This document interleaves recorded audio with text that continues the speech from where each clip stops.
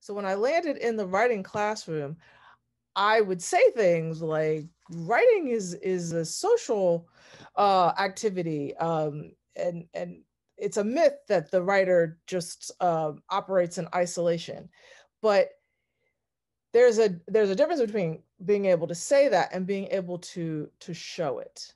And even though I would do group work in the writing classroom, um, I felt that social annotation was a tool to take it take it back uh, several steps and allow students to realize that that reading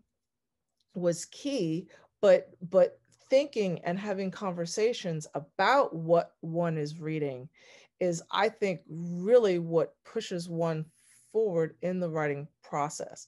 and specifically for my campus we have a largely commuter campus um, I would say probably 90% of our student body commutes to campus. And most of our students have jobs and lots of responsibilities outside of campus. And it's very, very difficult for them to make connections in, in often um, right when they're right there physically on campus. So annotation gives them another opportunity to engage and to see what their classmates are thinking